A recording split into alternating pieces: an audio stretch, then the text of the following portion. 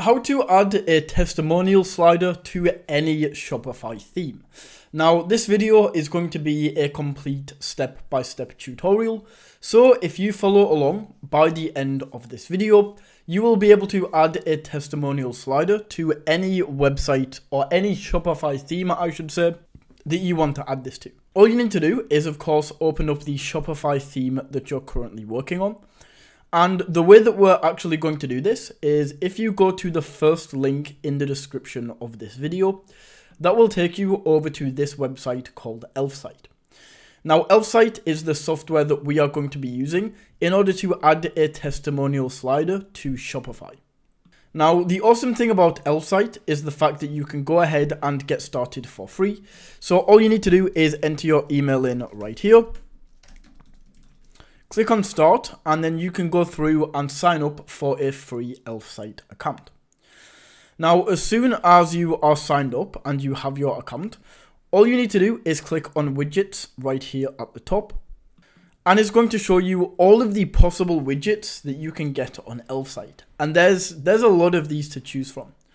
However, most of these we don't need right now. So all we are going to do is go to the search bar and search for testimonials and you can see the testimonial slider right here. So go ahead and click into this. Then it takes us through to the edit widget section where it gives us a bunch of different options to choose from. And you can see that these look absolutely fantastic.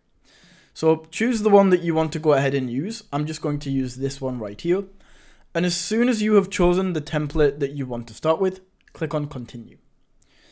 From here, you can then change out each of these testimonials so you can go down here, change the image, change like the logo that is given, or you can just completely take this away. Uh, you can choose the website URL. So if people were to go ahead and click on this, it takes them over to this website. Of course, this is just, whoopsie, this is just an example, so it just takes us through to Shopify. However, you can add like a, a, social profile, the date the testimonial was given, who this is, the caption, everything like that. And then, most importantly, you can edit the actual testimonial and um, basically what this person says. Now, once you have added all of these different testimonials in, you've added the images and everything like that, and you're happy with how this looks, you then want to add this to your website. All you then need to do is click on add to website for free.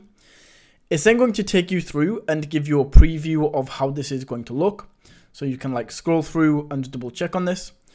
And if you're once again happy with this, just click on publish in this top right corner. And then Elfsight is going to ask you to choose a plan. So the plan that you would choose depends on how many monthly views your website gets. However, if you're new to Shopify, you don't have many views yet, or if you just want to test this out, you can go for the light version right here, which is completely free, and that is what I'm going to do.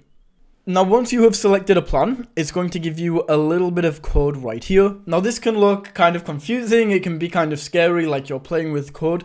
Not really. It is literally a case of copy and paste. So all you need to do is copy the code right here. Go over to your Shopify. And as I say, this works for absolutely any theme. All you have to do is go to the template section. So make sure you're not in header and you're not in footer.